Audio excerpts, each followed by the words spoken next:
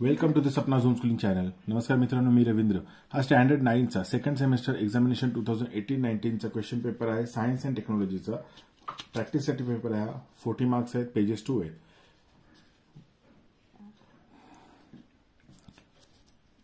okay first question आहे answer the following question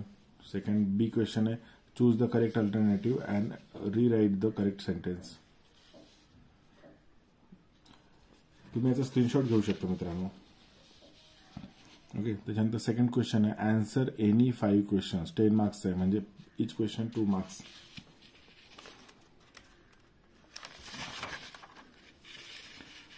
on the page number two remaining two questions on question three answer any five question fifteen marks each question three marks